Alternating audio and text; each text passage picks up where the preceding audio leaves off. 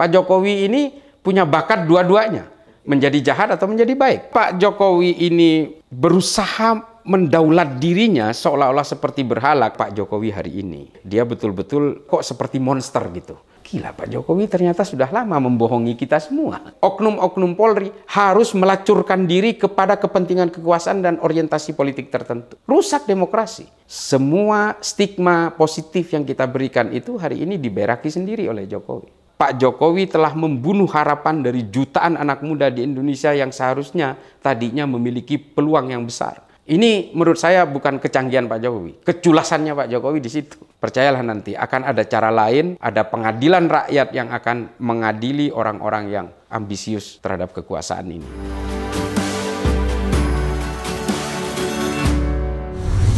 Selamat datang di channel Abraham Samad Speak Up. Seperti biasanya hari ini saya menghadirkan tokoh yang luar biasa nih. Sahabat kita semua netizen.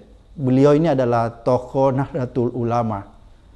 Nama beliau sebenarnya walaupun saya nggak memperkenalkan pasti udah dikenal oleh netizen. Tapi nggak apa-apa. Assalamualaikum. Waalaikumsalam ah, warahmatullahi wabarakatuh. Cak Islah Bahrawi. Sehat ya? Sehat, Alhamdulillah. Cak Islah ini kan ya. baru putar-putar seluruh Jawa, Jawa Timur, dan lain-lain ya. sebagainya Netizen saya ingin memperkenalkan Cak Isla ini kan orang yang lama berkecimpung di dunia ya kalau bahasa sehari-harinya dunia telik sandi. Pernah jadi tenaga ahli di Densus 88 ya. Ya. Dan lama berkelana di negeri Paman Sam. Beliau pengalamannya ini luar biasa, pengalaman intelijennya dan pengalaman di dunia terorisme kira-kira begitu ya. Cak ya. Oke, Cak, tapi kita tidak omongin itu. Kita omongin ini ada peristiwa yang memilukan kita semua, yang yeah. harus jadi perhatian kita semua ya. Mungkin sebelum kita bicara lebih jauh, saya ingin tanya dulu nih, Cak Isla. Sudah nonton film yang menimbulkan kepanikan semua orang yang dibuat oleh teman kita dan di Lexono, yeah. Dirty Ford?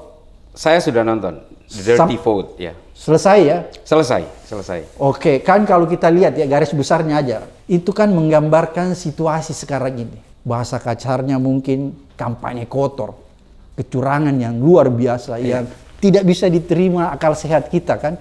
Bahwa ternyata negara kita yang sudah dikenal sebagai negara demokrasi kok perjalanannya seperti ini. Kira-kira apa yang Cak Isla bisa berikan nih atau bisa menggarisbawahi dari isi film tersebut. Apakah itu sesuai dengan fakta yang terjadi sekarang? Apalagi Cak Isla ini baru baru berputar-putar. Baru berputar-putar dan saya tahu betul Cak Isla ini kan punya orang-orang di lapangan. Jadi saya kebetulan bukan mengutus orang ke lapangan itu. Kebetulan saya yang di lapangan. Wah, langsung ya? Langsung. langsung kita. Jadi, Jadi tidak mendengar testimoni. Tidak, saya mendengar testimoni dari orang yang merasakan berbagai aksi-aksi opresi dari aparat. Oke. Okay. Saya langsung. Oke. Okay. Dan saya keliling di 14 kabupaten kota okay. di tiga provinsi Jateng, Jatim dan Yogyakarta. Oke. Okay.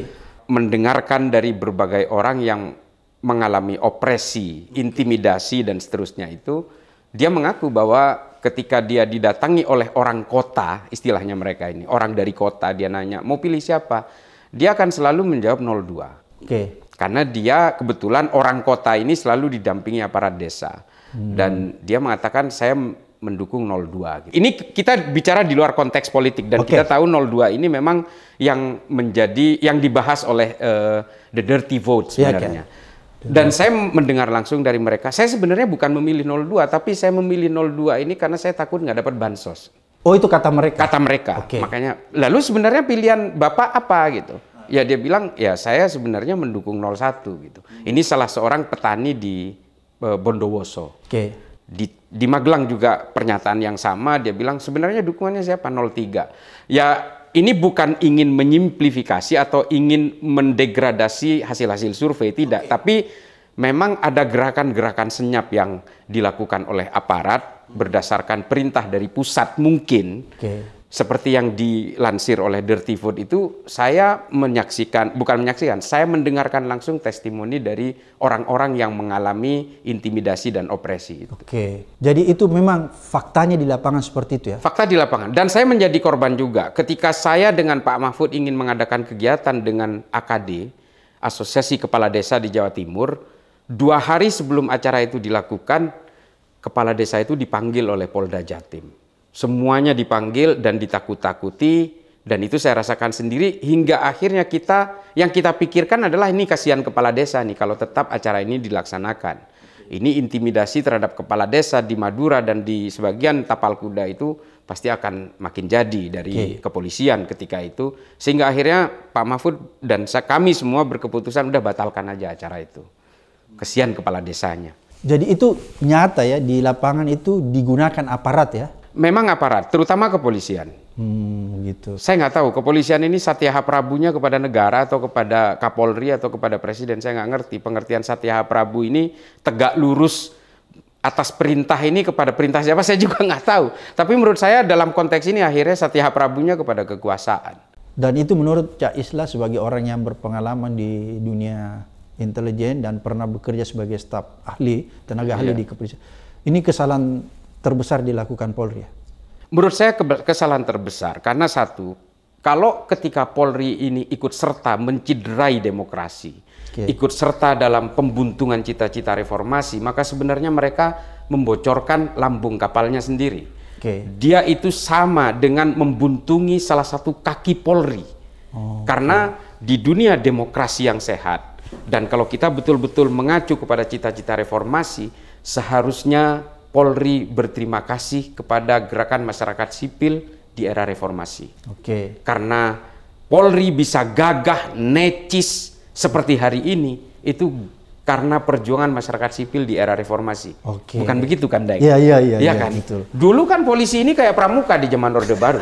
Iya kan? Iya, iya. Kita jujur aja. Kayak pelengkap aja ya? Pelengkap aja. Dia ada di keteknya tentara kok. Dia menjadi bagian dari ABRI ketika itu. Okay. Dan kita tahu polisi nggak ada apa-apanya. Okay. Betul-betul hanya hanya satu matra yang kemudian menjadi pelengkap saja setelah reformasi hari ini dia bertanggung jawab langsung kepada presiden, dia tidak berada di bawah kementerian, sementara tentara berada di bawah kementerian dan tentara sudah tidak difungsi lagi. Okay. Artinya apa? Sebagian wewenang yang dulu berada yang dibuntungi oleh uh, rezim okay. di zaman Orde Baru itu pada akhirnya kan dikembalikan. Ruang-ruang hmm. sipil ini dikembalikan kepada Polri dan Polri bisa gagah seperti hari ini. Artinya saya tadinya nggak percaya Polri hmm. ikut serta membuntungi cita-cita reformasi. Ya. Saya tadinya nggak percaya. Ya, ya. Tapi setelah saya mengalami sendiri, kok bisa begini polisi ini? Ini Satyaha Prabunya kepada siapa? Saya harus ngomong terbuka soal ini karena begini loh. Polri hari ini harus betul-betul independen Oke. Kalau ada dari pejabat-pejabat Polri hari ini mengatakan enggak kok, kami masih netral segala macam, udahlah hentikan omong kosong itu. Saya tahu di lapangan seperti apa. Oh, jadi omong kosong itu ya? Omong kosong. Bicara netral itu sebenarnya daripada bicara netral dalam persoalan pemilu, buat saya mending bicara netral grup band rock aja. Waduh, ini hebatnya Cak Isla ini kalau ngomong.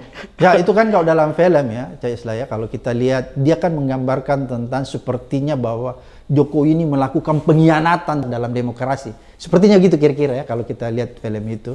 Ya, menurut saya ketika dia berusaha merancang berbagai political engineering okay. untuk merekayasa atau apa pun lah istilahnya terhadap satu pemenangan anaknya dalam konteks ini ya, ya. Dan juga apa pun yang didukung oleh Presiden Jokowi hari ini menurut saya ini adalah bagian dari embrio totalitarianisme yang kemudian akan diberlakukan oleh Jokowi. Karena prakteknya sama. Okay. seperti ketika Hitler mengalahkan von Hindenburg misalnya.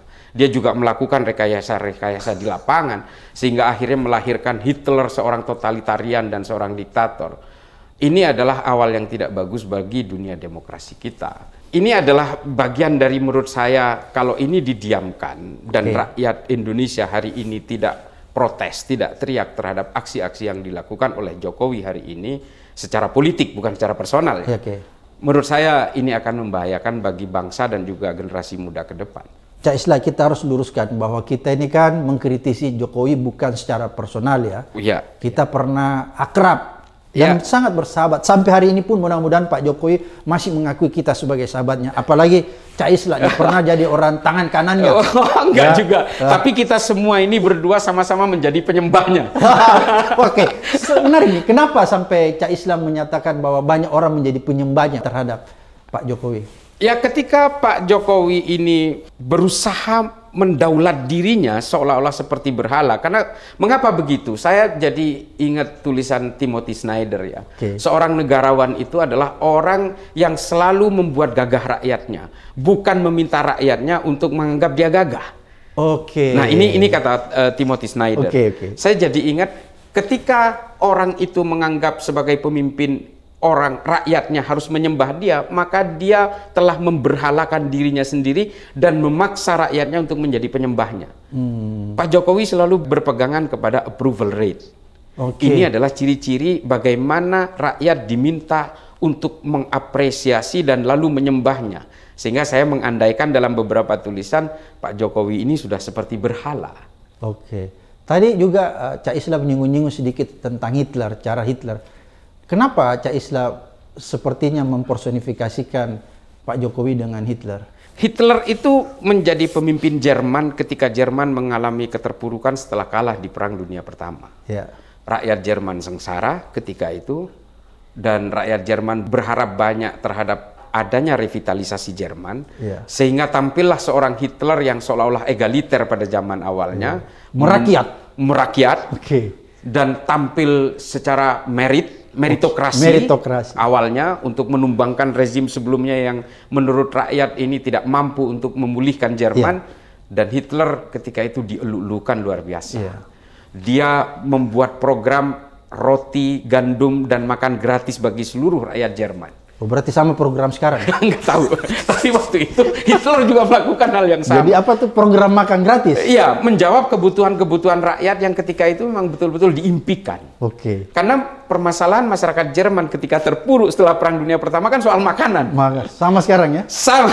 okay. Nah ini yang kemudian dijadikan narasi oleh Goebbels. Okay. Uh, melalui uh, untuk membangkitkan gairahnya Hitler hmm. uh, dari masyarakat Jerman tapi kemudian setelah berkuasa mulailah terjadi perubahan metamorfosis yeah. secara perlahan ternyata Hitler menjadikan dia sebagai nobilized evil. nobilized evil, seorang yang betul-betul sebenarnya dia itu iblis tapi berjubah malaikat gitu kurang lebih seperti itu. Dan itu Hitler. Dan itu berbahaya ya? Sangat berbahaya dan kita tahu pada akhirnya endingnya Hitler seperti apa, Goebbels seperti apa, seorang seluruh orang-orang Nazi seperti apa dan temannya Hitler pun yang bernama Benito Mussolini akhirnya seperti apa? Agak mirip ya. Nggak tahu. silahkan. Oke. Okay. Silahkan kita. Jadi kalau begitu kita kembali. Tadi uh, Cak Islam mengatakan bahwa Pak Jokowi ini kan semacam mempersonifikasikan dirinya sebagai berhala yang harus disembah seperti gitu ya, ya saya tangkap. Ya karena perasaan-perasaan seperti itu mungkin Pak Jokowi akhirnya terlalu overconfidence. Oke. Okay. Sehingga orang-orang ini dianggap ah udahlah mereka mencintai saya semua, kalaupun saya berbuat apa pun mereka akan memaklumi. Kurang lebih seperti itu. Oh. Kalau menurut saya sehingga apa yang kita lihat Pak Jokowi hari ini seolah-olah ini kok Pak Jokowi benar-benar tidak seperti yang dulu. Hmm. Kita tidak tahu apakah ini seperti ini dari dulu tapi dia berpura-pura kita juga nggak tahu. Tapi yang kita lihat belakangan ini kan really really brutal gitu betul-betul okay. brutal kan gitu kan ya, ya. ugal-ugalan ugal-ugalan okay. dan betul-betul dia itu seolah-olah dia itu menempatkan earbud di kedua kupingnya sehingga dia tidak tidak mendengar apa pun nggak mau mendengar masukan ya? ya tidak mau mendengar masukan termasuk akademisi malah dituduh punya orientasi politik oleh istana meskipun bukan Pak Jokowi yang bicara seperti itu tapi Muldoko bicara seperti itu Bahlil bicara seperti itu ini kan seolah-olah uh, ini kan delegasi-delegasi yang merepresentasikan uh, Pak Jokowi. Pak Jokowi lupa bahwa dia ini dulu betul-betul dideploy, didukung oleh kalangan akademisi dan kalangan masyarakat sipil. Hmm. Kalau masyarakat sipil tidak menghendaki Pak Jokowi yang bukan kalangan priai, mungkin Pak Jokowi tidak jadi presiden. Ya, menarik.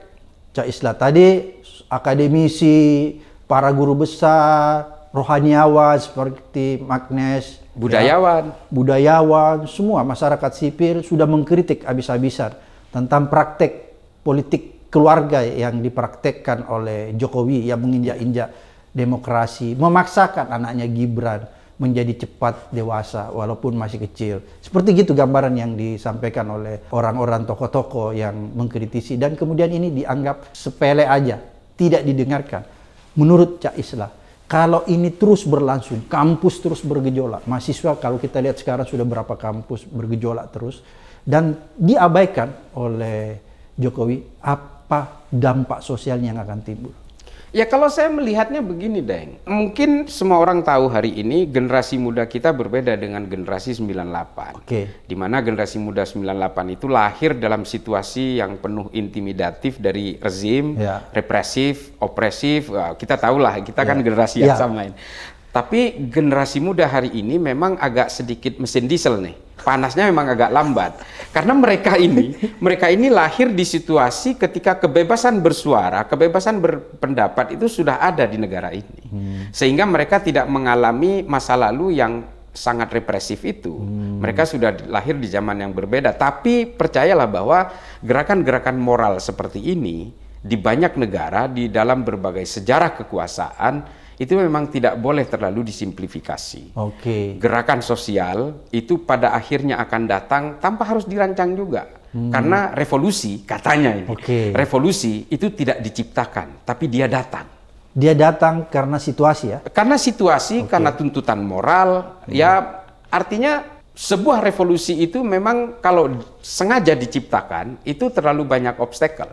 Hmm. Tapi kalau dia datang dengan sendirinya karena nurani, karena gerakan moral, tidak ada satupun yang akan bisa menghambat itu. Sama seperti 98 kan, okay. Daeng. Ya, okay. Siapa sangka oh, seorang okay. Soeharto yang meskipun ketika itu ada ada gejolak ekonomi, ya. tapi tidak ada yang nyangka bahwa Soeharto dalam hitungan dua bulan setelah dilantik dia bisa runtuh seruntuh-runtuhnya. Padahal dia menguasai semua aspek. Menguasai semua, ABRI, polisi, tentara, semua ASN, kekuatan-kekuatan sentral, hmm. epicentrum kekuatan apa konglomerat semua kan dikuasai oleh Pak Harto pada zaman itu. Padahal kita juga punya pikiran Pak Harto mungkin 10 20 tahun ke depan tidak akan tumbang sampai dia mati pun tidak akan tumbang. Tapi ternyata ya itulah revolusi itu tidak diciptakan tapi ternyata dia datang perlahan lewat gerakan kampus, gerakan mahasiswa, gerakan masyarakat sipil dan jadi barang itu. Apakah situasi sekarang ini sepertinya adalah bunyi-bunyi ke arah sana? Kalau saya melihat kalau memang tetap Pak Jokowi ini tidak bisa mengalahkan dirinya sendiri, ini tidak mustahil akan terjadi. Jadi akan tercipta reformasi atau revolusi?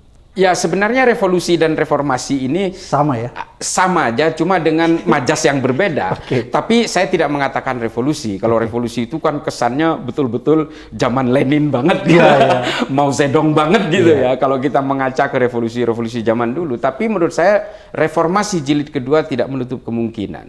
Okay. Meskipun dengan agenda yang tidak sama seperti agenda reformasi pada zamannya okay. karena waktu itu kita melawan rezim yang betul-betul sudah berurat akar selama 30 tahun tapi tidak menutup kemungkinan ini saya kira akan terjadi reformasi demokrasi jilid kedua dalam konteks ingin mengembalikan hitoh demokrasi mengembalikan hitoh ya. Iya. Apakah ini bisa terjadi dalam rentang waktu yang kira-kira seperti tadi yang Cak Isla katakan bahwa kita akan tercengang karena dia tiba-tiba datang tanpa direkayasa, ya.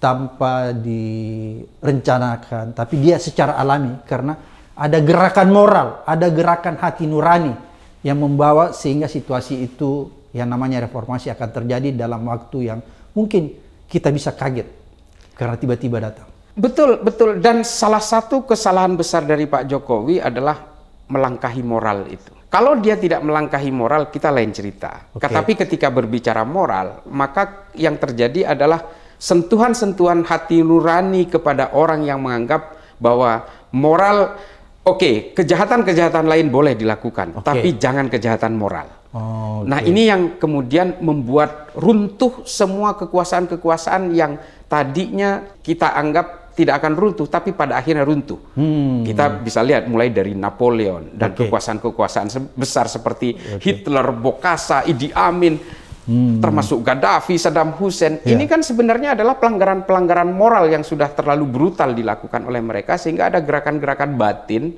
gerakan-gerakan nurani yang tidak perlu dirancang. Dia datang sendiri. Oke. Okay. Cak Isla, ini kan menarik tadi. Cak Isla bilang ini kelihatannya Pak Jokowi ini sebagai orang yang kita kenal yeah. bersama, kita kenal kayaknya dia berubah 180 derajat. Bisa nggak Cak Isla menggambarkan sedikit kepada kita perubahan yang signifikan itu di mananya? Ya, power tend to corrupt.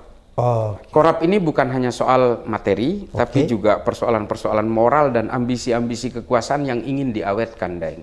Ini semua orang mengalami itu. Banyak penguasa-penguasa yang pada awalnya mengalami popularitas yang luar biasa karena dia egaliter, dia betul-betul menjadi negarawan, tapi di ujungnya ternyata dia juga ingin mengawetkan kekuasaan pada akhirnya. Dan di saat itulah offside-offside dan pelanggaran-pelanggaran itu terjadi. Hmm, okay. Kalau kita mengandaikan, menganalogikan seperti pertandingan sepak bola, yeah, yeah, yeah. Pak Jokowi ini babak pertama bermain cantik. Memasuki babak kedua, dia masih berusaha memainkan permainan cantik itu, tapi banyak pemain inti yang diganti oleh dari bangku cadangan. Nah ini ini sudah mulai nih. Okay. Nah di injury time Diganti semua. Diganti semua dan saya yakin di situlah nanti lawan akan membobol gawang kita. Hmm. Nah ini ini menurut kalau analogi sederhananya memang Pak Jokowi sebenarnya kita dulu banyak berharap dia menjadi negarawan, jangan hmm. jadi politisi. Okay. Artinya saya sering menganalogikan juga dengan sejarahnya Nabi Muhammad. Okay. Nabi Muhammad sampai wafat pun tidak mewariskan kekuasaan itu kepada orang yang ditunjuknya. Apalagi anaknya apalagi anaknya, apalagi taruhlah pada zaman itu patriarkal sangat kuat di Arab, okay. taruhlah Nabi Muhammad seharusnya nunjuk Sayyidina Ali. Ya. Seorang mantu, seorang sepupu yang cerdas luar biasa dan panglima perang. Ya. Tapi tidak dilakukan oleh Nabi. Kenapa? Okay. Karena Nabi betul-betul seorang negarawan. Kalau Nabi menunjuk penggantinya, maka dia tidak ubahnya seperti politisi yang ingin mengawetkan kekuasaan. Okay. Nah, seharusnya Pak Jokowi menjadi negarawan a hmm. statesman. Oke. Okay. Then a politician. Oke. Okay. Pak Jokowi offside ketika dia sudah membangun kekuasaan ini fungsi dia sebagai presidensial sebagai seorang negarawan okay. di ujungnya dia berusaha menjadi seorang politisi yang ingin mewariskan kekuasaan kepada anaknya. Nah, hmm. seharusnya berkacalah kepada para pemimpin yang menjadi negarawan sampai akhir. Hmm. Ini tidak. Oke. Okay. Pak Jokowi terjebak menjadi seorang politisi yang ingin mengawetkan kekuasaannya sehingga di akhirnya mewariskan kekuasaan itu kepada anaknya. Cak Isla, apa yang paling fatal sebenarnya kalau kita lihat ya, yang dilakukan Pak Jokowi dalam kerangka tidak merawat demokrasi ini. Justru banyak sebagian orang mengatakan bahwa ini kan menghancurkan.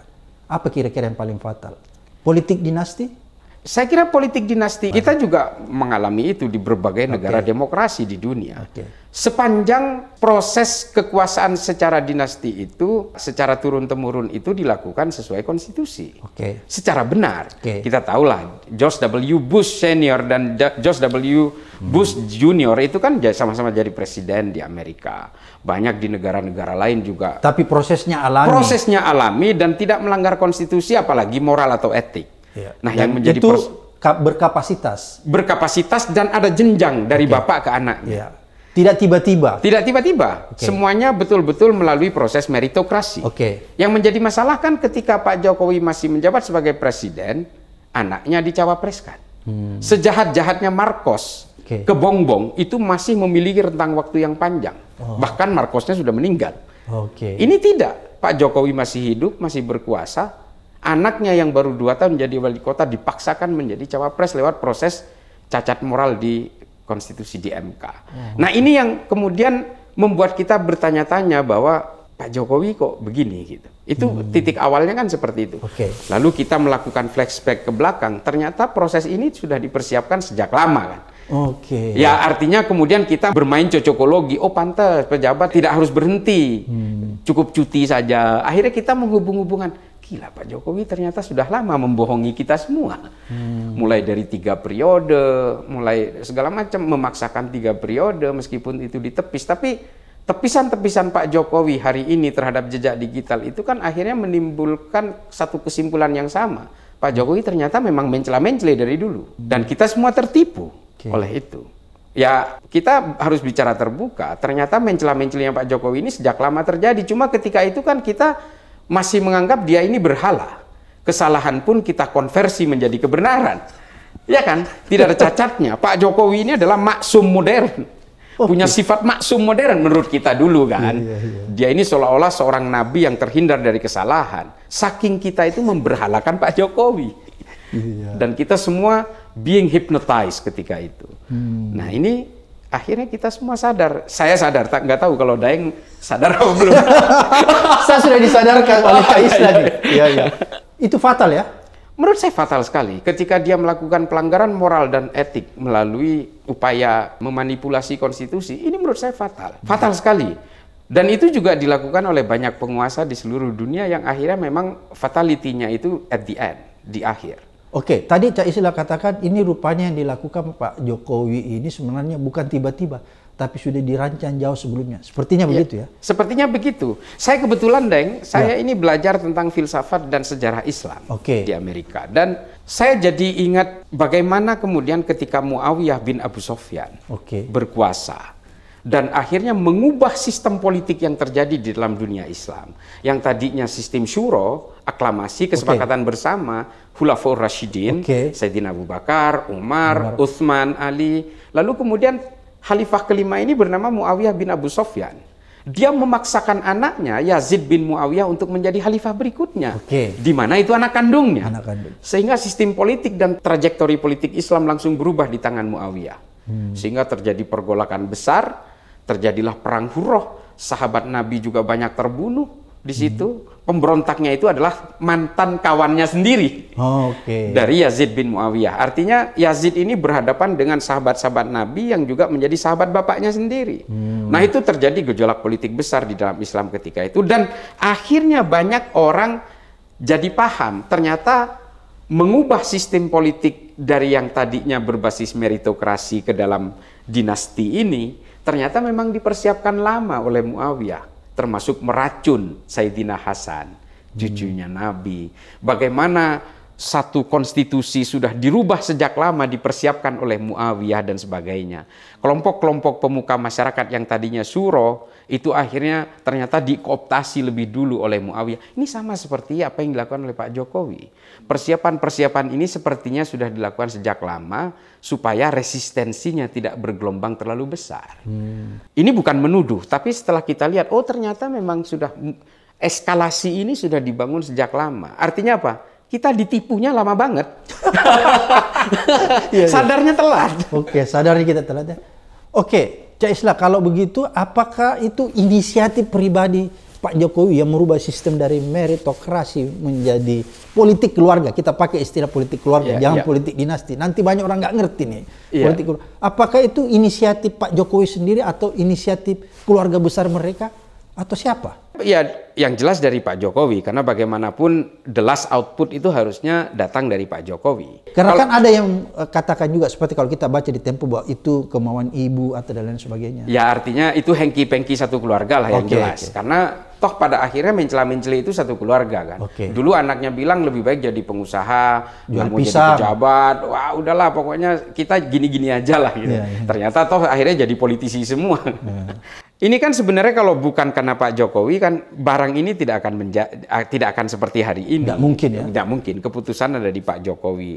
Dan menurut saya saya nggak tahu ya pernyataan dari wawancaranya Mas Andi Wijayanto ya. itu menurut saya itu adalah gambaran bagaimana seorang Pak Jokowi hari ini. Okay. Dia betul-betul ya mohon maaf saya harus menggunakan istilah kok seperti monster gitu. Pak Jokowi itu betul-betul bukan Pak Jokowi yang dulu itu yang membuat kami hari ini itu betul-betul mohon maaf kalau kemudian memberi stigma negatif habis-habisan kepada Pak Jokowi karena memang ya kita kecewa betul.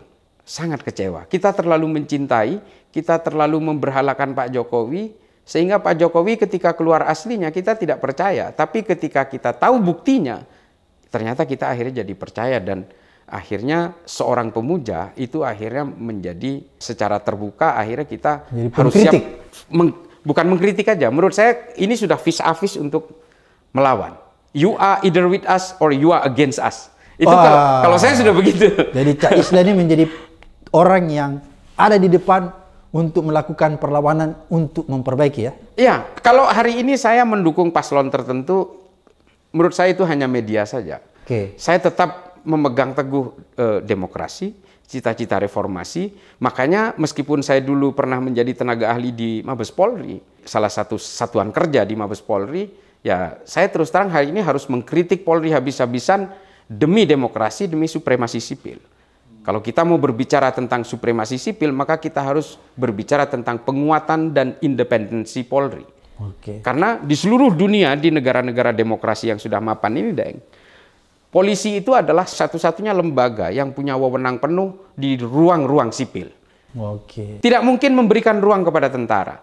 Di Amerika, saya kurang lebih hampir lima tahun, saya tidak pernah menemukan tentara di ruang-ruang sipil Semuanya ada di dalam komplek militer. Okay. Military compound. Di barak. Di barak. Ketika dia keluar, dia menjadi rakyat sipil. Meskipun dia pak masih pakai baju doreng, dia melakukan pelanggaran lalu lintas, tilang. Dia karena menjadi dia menjadi sipil. sipil. Okay. Nah, polisi yang menilang itu. Ruang sipil ini sepenuhnya punya Polri. Coba bayangkan kalau Polri oknum ya, oknum-oknum Polri harus melacurkan diri kepada kepentingan kekuasaan dan orientasi politik tertentu. Rusak demokrasi rusak supremasi sipil. Makanya saya sampai hari ini tolong kepada oknum-oknum Polri, marilah kita ingat sejarah. Okay. Polri bisa menjadi hari ini, bisa gagah seperti hari ini, itu karena perjuangan masyarakat sipil. Dan juga diuntungkan oleh supremasi sipil. Diberi ruang oleh demokrasi untuk punya wewenang penuh di ruang-ruang masyarakat sipil. Oke. Okay. Itu itu saya. Saya terus terang agak kecewa kepada oknum-oknum di dalam uh, Polri sendiri. Oke, Cak Islam menarik nih. Kekecewaan kita terhadap Jokowi ini kan begitu besar karena kita juga terlalu mencintainya begitu besar. Betul, betul. Mungkin kira-kira seperti itu gambarannya. Betul. Termasuk Cak Islam yang mencintai Jokowi deng. 100% ya. Iya, saya ini, Deng. Saya dulu ketika Pak Jokowi 2014 terpilih, saya bilang, he is an angel coming from the sky, saya bilang. Ini malaikat yang turun dari langit. Luar biasa. Karena apa? Anak seorang supir truk, dia hanya pengusaha kayu, dia bukan dari kalangan priai, bukan anak jenderal, bukan mantan tentara, bukan mantan polisi, bisa menjadi presiden. Kita bangga. Kita bangga. Kalau Jokowi bisa jadi presiden, anak saya pun bisa jadi presiden, okay. cucu saya pun bisa jadi presiden. Tapi ternyata akhirnya semua stigma positif yang kita berikan itu hari ini diberaki sendiri oleh Jokowi. Ternyata anaknya yang sudah menjadi priai dipaksakan menjadi priai berikutnya. Dan bukan sekedar anaknya, anak mantu pun. Anak mantu pun semua. Ya mohon maaf, kalau saya agak sedikit berapi-api kalau bicara tentang demokrasi dan supremasi sipil dan reformasi dan seterusnya. Karena memang ini adalah cita-cita kita sebagai orang-orang sipil seperti ini. Oke. Hanya supremasi sipil yang kemudian memberi peluang kita Oke. untuk menjadi orang sesuai dengan kemampuan kita, kebebasan kita dan seterusnya. Oke, saya jadi terketuk nih ketika Cak Islam mengatakan ketika Pak Jokowi melakukan praktek yang namanya politik keluarga, itu berarti meniadakan kesempatan orang-orang biasa. Dari Sabang sampai Merauke banyak anak-anak generasi muda, anak petani, anak desa yang mungkin punya kelebihan, punya kemampuan intelektual melebihi Gibran atau siapa pun yang ada di Jakarta. Tapi dengan praktek yang dilakukan Pak Jokowi ini akan menutup ruang-ruang itu. Seperti begitu kira-kira. Ya, Pak Jokowi telah membunuh meritokrasi okay. yang menjadi sendi utama dari kehidupan berdemokrasi okay. dan juga menjadi cita-cita reformasi. Pak Jokowi ketika membunuh meritokrasi, dia telah membunuh demokrasi dan membuntungi cita-cita reformasi. Ya sesederhana itu.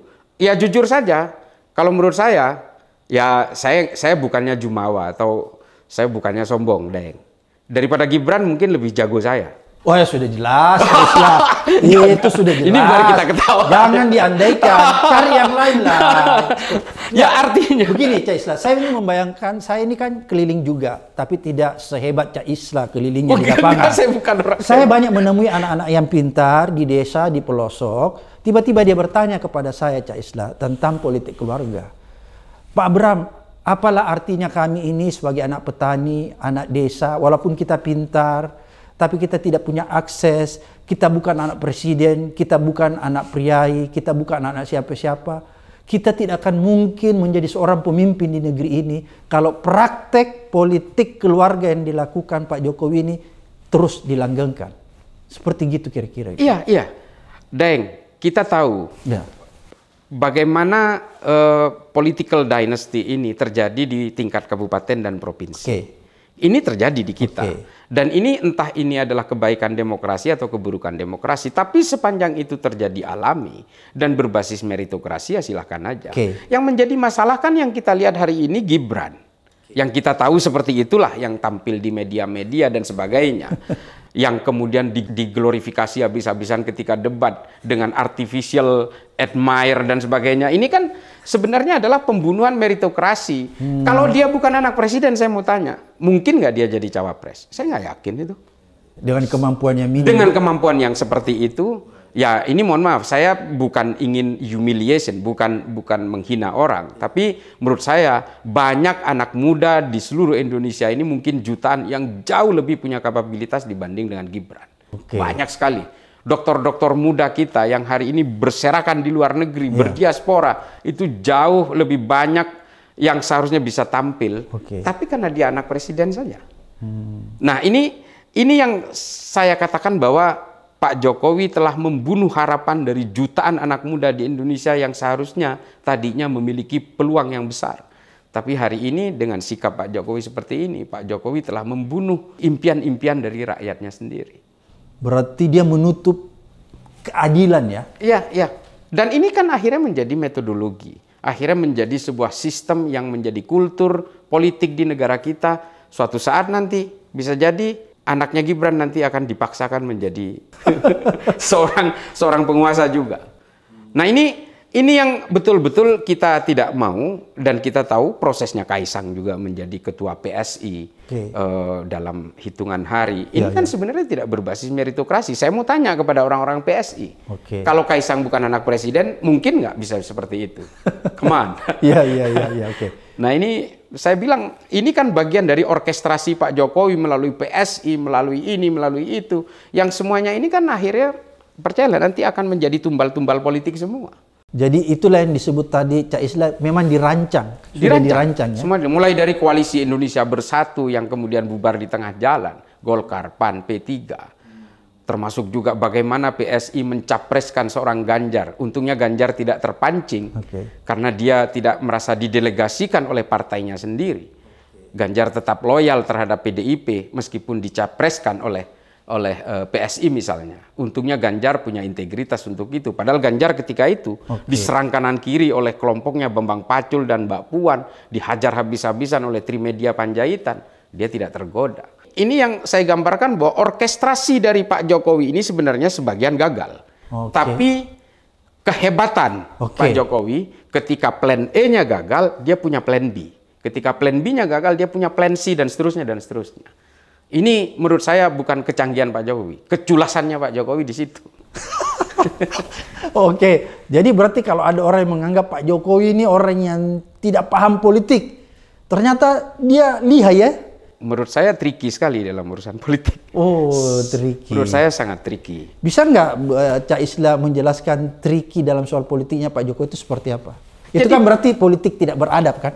Ya bisa jadi beradab menurut orang yang masih menganggap Pak Jokowi ini orang hebat. Oke. Okay. Saya bilang saya culas, saya terang-terangan aja saya culas. Misalnya bagaimana dia memainkan orkestrasi tiga periode. Oke. Okay. Melalui echo chamber, echo chamber termasuk ya waktu itu penggiatnya, penggeraknya itu kan Mas Kodari ketika okay. itu. Nah kemudian berbagai cara, oh ini ini gagal, kemudian dibuatlah plan B-nya. Hmm. Dan kemudian gagal, dibuatlah plan C-nya. Membuat PSI diorkestrasi sedemikian rupa, membuat KIB dan seterusnya, okay. memunculkan sosok Hovifah, memunculkan sosok Erlangga, memunculkan sosok Erick Thohir dan seterusnya dan seterusnya.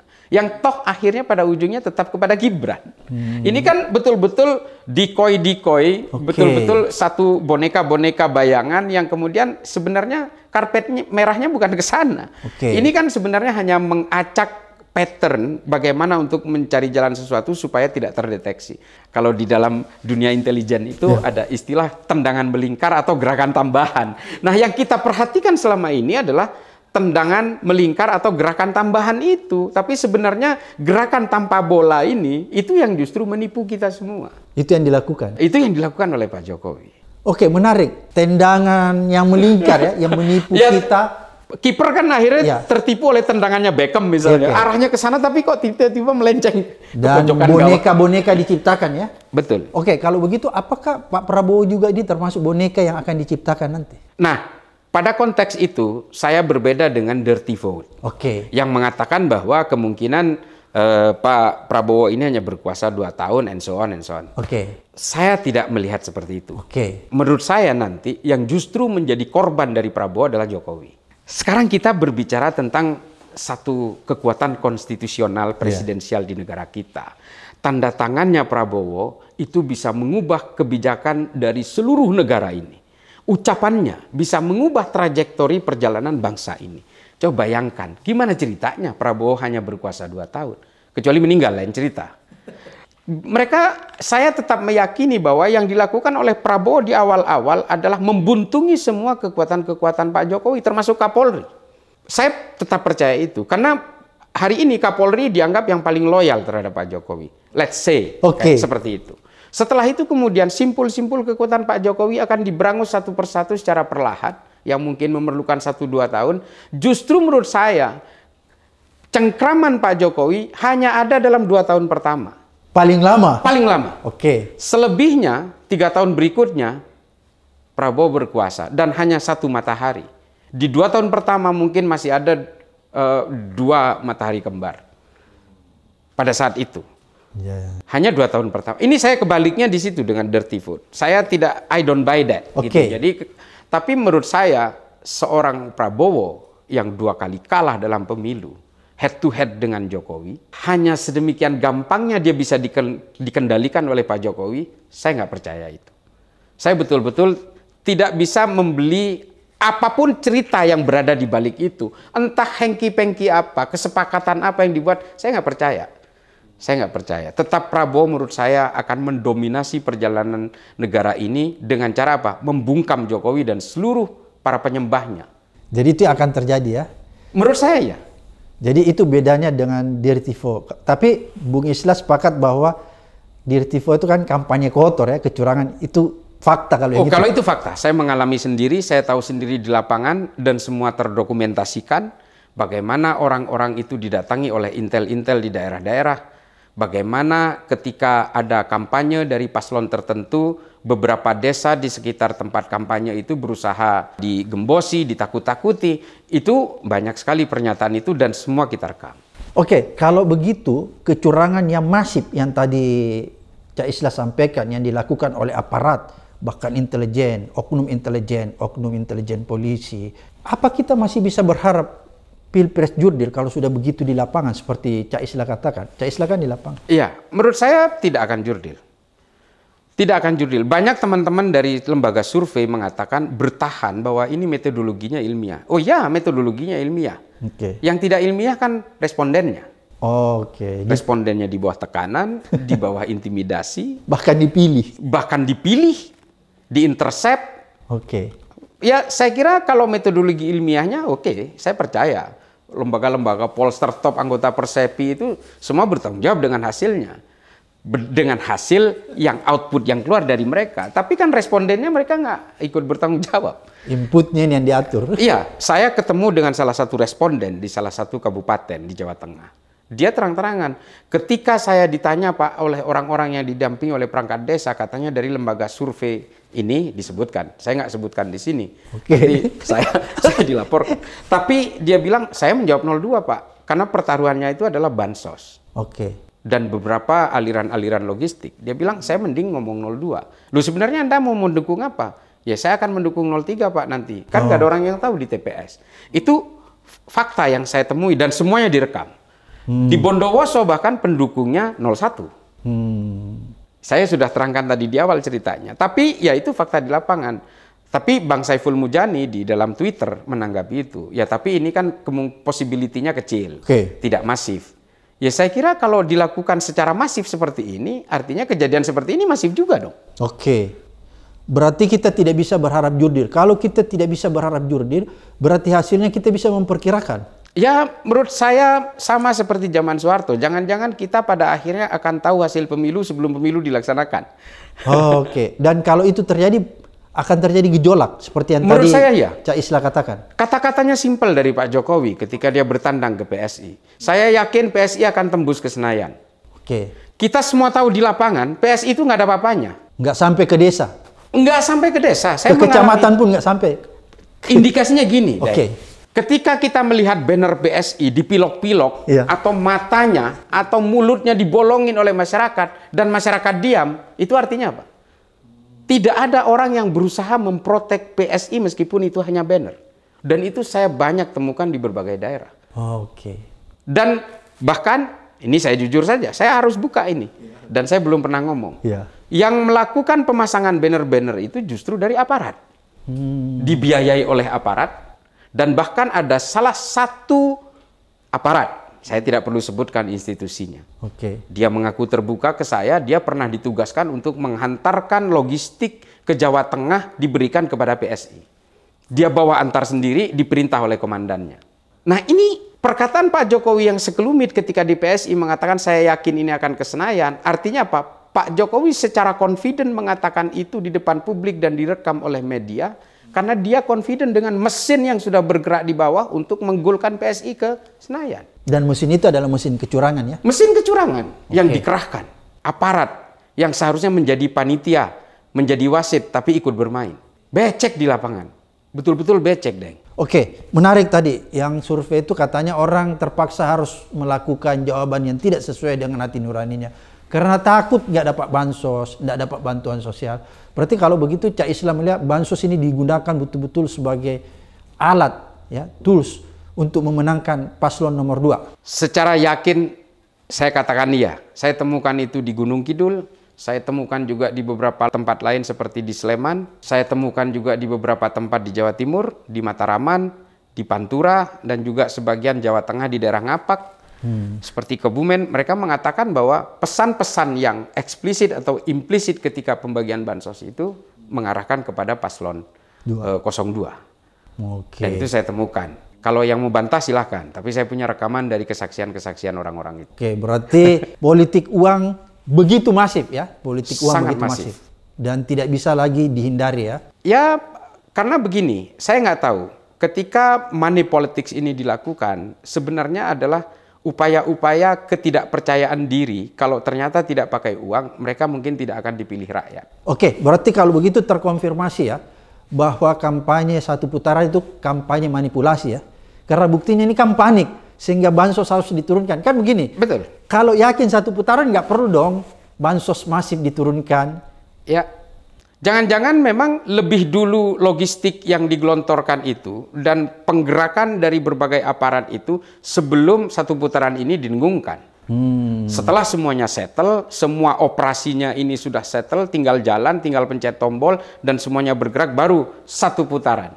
Oke. Okay. Tapi jangan salah, kita bicara soal ruang-ruang politik yang kadang-kadang menjadi misteri juga. Ya, mereka boleh menggerakkan berbagai apa apa instrumen, komponennya silahkan saja. Tapi, Tapi ada hati nurani yang akan melawan. Ada hati nurani yang akan melawan, meskipun mereka tidak bisa melawan di atas permukaan, mereka akan melawan di TPS. Kalau mereka tidak bisa melawan di TPS, kalaupun hasil-hasil penghitungan suara nanti dicurangi, diintercept dan sebagainya, percayalah nanti akan ada cara lain, ada pengadilan rakyat yang akan mengadili orang-orang yang ambisius terhadap kekuasaan ini.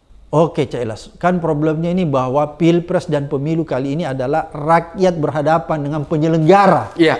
Ini kan jadi problem. Oleh melawan karena, panitia. Melawan panitia, penyelenggara, panitia pemilu. Oleh karena itu, apa dampak paling kita takuti kalau ini akan terjadi terus di hari H? Ya, saya satu hal yang paling saya takutkan. Betul-betul terjadi satu putaran. Oke. Dan dimenangkan oleh 02. Ini yang paling saya takuti. Oke. Karena apa? Karena fakta di lapangan itu tidak berbanding lurus dengan apa yang akan terjadi. Saya meyakini itu. Oke. Saya tahu persis saya berkeliling di berbagai lapangan dari sejak berbulan-bulan kemarin. Oke. Saya tahu situasi di lapangan seperti apa. Nah, ini yang mungkin akan menjadi trigger dari gerakan-gerakan masyarakat okay. untuk melakukan perlawanan terhadap kelompok-kelompok panitia yang berusaha mempengaruhi hasil pertandingan ini. Oke. Nah, coba bayangkan Orang kan kadang-kadang nonton pertandingan itu masih asik-asik aja. Okay. Tapi ketika di hasil akhir skor itu ternyata diketahui diatur oleh wasit, apa yang terjadi? Penonton akan turun ke lapangan, Ribu. mengeroyok wasit, mengeroyok pemain, membakar gawang, membakar tribun dan seterusnya. Nah, ini yang paling kita takutkan. Dan itu yang menurut prediksi Cak Isil akan terjadi kalau uh, paslon nomor 2 menang satu putaran. Ya saya terus terang bukan berarti ingin menafikan dari hasil pemilu nanti, okay. tapi apa yang saya lihat di lapangan setelah berbulan-bulan dari desa ke desa, dari dusun ke dusun, okay. dari pintu ke pintu. Oke. Okay. Sepertinya kalau satu putaran ini berbanding terbalik dengan apa yang terjadi di lapangan. Oh berbanding ya, berarti nggak mungkin ya? Menurut saya nggak mungkin. Oke. Okay. Menurut saya nggak. Tapi kita berandai, misalnya dipaksakan, karena tadi ini gambaran Cak Isla sampaikan ke saya yang di lapangan ini kan aparatnya masif nih turun mempengaruhi. Kalau saja kita berandai-andai nih, itu berhasil dan memenangkan paslon 2. Apakah reformasi jilid 2 akan terjadi? Ya, kalau bicara prediksi saya tidak bisa memprediksi. Okay. Tapi kalau saya berharap, saya berharap. Oh, Cak Islam berharap akan terjadi reformasi karena itu akan mengoreksi. Ya, kalau kecurangan. tidak, kalau tidak trajektori bangsa ini ke depan makan akan makin hancur-hancuran ketika demokrasi sudah dibuntungi, cita-cita reformasi sudah mulai dicederai, menurut saya kultur politik kita akan terus berubah ke depan ini dan akhirnya meritokrasi bagi seluruh rakyat Indonesia ini akan terbunuh dengan sendirinya. Itu dampak yang paling berbahaya. Iya, iya. Oh. Makanya saya berharap, bukan prediksi ya. Oh. Kalau prediksi, wah saya nanti disangkain sakti gitu. Ya, Tapi anggap peramal. Iya, saya berharap ada reformasi. Oke. Dan reformasi yang kita harapkan adalah reformasi seperti 98. Iya, mengembalikan demokrasi kepada hitohnya. Iya. Kepada kelahirannya. Iya, karena kan kalau kita lihat reformasi 98 itu kan mengoreksi tiga hal. Iya. Korupsi, kolusi, dan nepotisme. Betul. Dan ketiga ini sekarang dilanggengkan, diulangi. Dan dilanggar itu, semua. Dilanggar semua. Berarti kalau menurut Cak Isla memang kemungkinan besar reformasi jilid 2 itu akan terjadi karena akan mengoreksi tiga hal ini lagi. Ya betul. Dan kalau kita perhatikan di 02 ini banyak orang-orang yang tersandra oleh berbagai kasus-kasus korupsi. Oke. Okay. Ya kita tidak bisa menutup mata itulah. Ya, saya ya. tahu persis ya, ya. bagaimana ketika saya tahu ketika Pak Erlangga ketemu dengan Mas Ganjar sebelum diperiksa, ketika diperiksa dan sesudah diperiksa ternyata berubah. Langsung pindah. Ya, ada cerita-cerita juga dari Pak Mahfud bagaimana curhatnya Khofifah ketika itu dia betul-betul dikendalikan karena perkara dan sebagainya ini ya mungkin tidak ada banyak orang yang bercerita, tapi harus saya ceritakan. Okay. Nah, coba bayangkan kalau orang-orang yang tersandra ini menjadi bagian dari satu kekuasaan kelak. Maka isinya ini adalah tikus curut, tikus curut semua ini. Okay. Nah, ini ini yang paling saya takutkan. Orang-orang yang tersandra ini kan punya dendamnya sendiri, dia punya lawannya sendiri. Coba bayangkan bagaimana stabilitas sebuah pemerintahan yang isinya adalah orang-orang yang tersandra oleh perkara hmm. maka mereka pasti akan punya peperangan di dalam satu markasnya sendiri. Ya ini saya bukan menakut-nakuti, tapi memang ini adalah gambaran bagaimana kalau kemudian orang-orang yang tersandra oleh perkara yang seharusnya menjadi tersangka, lalu kemudian dipospon hanya untuk kepentingan-kepentingan e, ceruk elektoral. Ini kan nggak bagus. Oke Cak Isla, morality perilaku politik apa sih yang menurut Cak Isla lihat yang begitu dilakukan Pak Jokowi yang tidak bisa diterima akal sehat kita? Ya banyak sih sebenarnya. Ketika dia berusaha memaksakan tiga periode itu menurut saya sudah keluar dari dari akal demokrasi saya ya. Itu sudah merupakan satu tindakan amoral menurut saya. Okay. Waktu itu saya menolak habis-habisan wacana tiga periode padahal lagi cinta-cintanya kepada Jokowi ketika itu saya katakan iya kalau Pak Jokowi dan lagi baik. dekatnya Cak Isla ya, ya. kan Cak Isla ini banyak orang bilang dekat banget dengan Pak oh, Jokowi. enggak lah saya cuma pemuja. Saya penyembah. Penyembah ya. Dan waktu itu saya bilang iya kalau Pak Jokowi yang orang baik. Oke. Okay. kalau ternyata ada diktator yang juga menuntut hal yang sama mati semua kita sehingga ketika itu tidak boleh. Oke. Okay. Nah, yang kedua adalah ketika Pak Jokowi menjadikan Gibran sebagai cawapres ketika dia berkuasa. Hmm. Yang ketiga adalah moral yang paling tersentuh dari saya bahwa ini betul-betul cacat moral. Ternyata Gibran kemampuannya hanya sebatas itu dan tidak ada apa-apanya. Tidak ada apa-apanya. Tidak ada apa-apanya.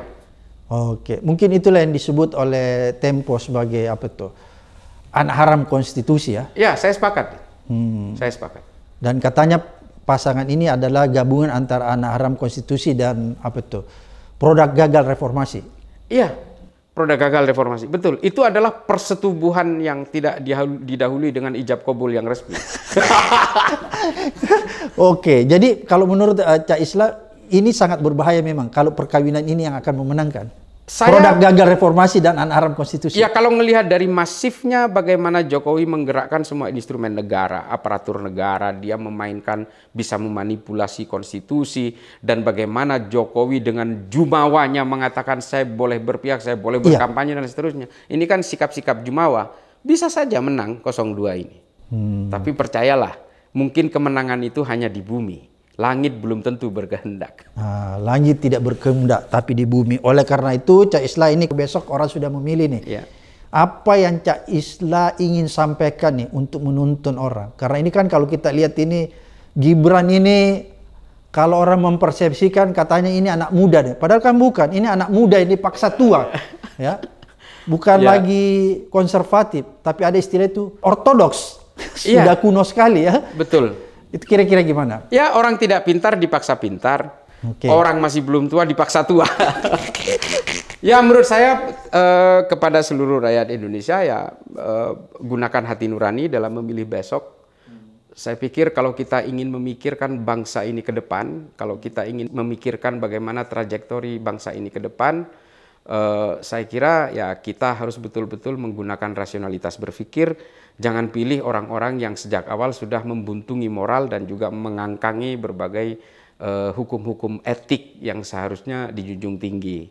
Oke lah kekuasaan itu bisa memanipulasi konstitusi, bisa menggerakkan banyak orang, bisa menghipnotis banyak orang. Tapi persoalan moral itu adalah persoalan nurani. Maka menurut saya ya pilih sama seperti ketika orang bertanya kemarin di Solo ada wartawan nanya ke saya, Caislah kalau ternyata 03 misalnya, hmm. nah bilah misalnya kalah gitu, nggak masuk putaran kedua, yang masuk putaran kedua itu adalah 01. Yeah. Saya bilang saya akan dukung 01. Loh kan di situ ada Anies, di situ ada Bip Rizik, yang justru musuhnya Caislah. Saya sudah tidak berbicara tentang musuh ataupun uh, kawan di sini. Saya berbicara kita punya common enemy yang sama, orang yang selama ini ternyata membuat cacat demokrasi. Oke, musuh kita bersama itu kan bisa dipersepsikan sebagai Pak Jokowi itu, ya. Apakah Cak Islah sebagai temannya Pak Jokowi tidak ingin menghimbau nih? Ini kan guru-guru besar menghimbau, menasihati Pak Jokowi. Pak Jokowi, tolonglah anaknya ditarik kembali atau apa? Mau nggak Cak Islah sampaikan nasihat kepada Pak Jokowi lewat ya, channel ini? Ya, saya Siapa tahu tiba-tiba sebentar malam Pak Jokowi tersadar nih dengan himbauannya. Enggak, enggak. Saya nggak mau sih. Memang saya menurut saya Pak Jokowi seharusnya sudah diingatkan oleh alam berkali-kali tapi isyarah itu sama Pak Jokowi betul-betul tidak dihiraukan. Oh, Oke. Okay. Tapi sekali lagi saya lansir saya bukan temannya Pak Jokowi, saya hanya penyembahnya Pak Jokowi sejak dulu, sejak 2014 saya terus terang dari jadi ini merendah lagi bilang penyembah padahal dia temannya nih saya terus terang ke Pak Jokowi meminta bahwa percayalah bahwa Pak Jokowi ini sebenarnya adalah seorang manusia. Tetaplah menjadi seorang manusia yang sebenarnya soal moral, etik dan kejahatan itu adalah bawaan lahir. Kita semua ini, Deng, okay. punya bakat untuk menjadi orang jahat, punya bakat untuk menjadi orang baik. Ini bawaan lahir.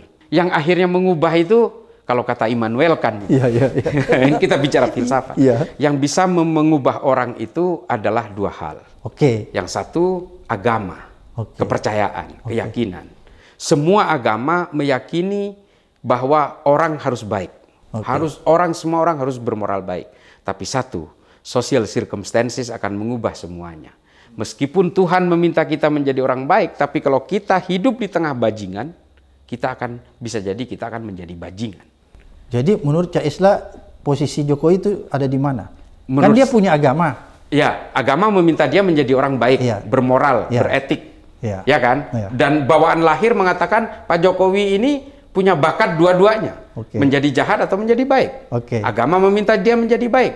Tapi ketika dia berada di epicentrumnya satu kelompok yang meminta dia menjadi bajingan, bisa jadi dia menjadi bajingan. Jadi epicentrumnya dia meminta dia jadi apa? Mungkin itu. Jadilah manusia. Hmm. Jadilah manusia di tengah manusia sehingga orang akan sadar bahwa Pak Jokowi harus bisa menjadi manusia yang bisa mengalahkan dirinya sendiri. Bukan jadi bajingan. Bukan menjadi bajingan. Orang yang tidak bisa mengalahkan dirinya sendiri akan selalu ingin mengalahkan orang lain. Orang yang tidak sanggup mengalahkan dirinya sendiri pasti akan mengatakan kalahkan saya kalau bisa. Kamu akan hebat kalau kamu bisa mengalahkan saya. Ini adalah perkataan dari orang yang gagal mengalahkan dirinya sendiri. Oke, menarik sekali netizen apa yang disampaikan Cak Isla ini membuat kita bisa menemukan kebenaran yang ada di depan mata kita dan insya Allah kebenaran ini akan menuntun kita untuk memilih pemimpin yang istiqomah, berintegritas dan berakhlak. Sampai ketemu di episode berikutnya di Abraham Samad Speaker.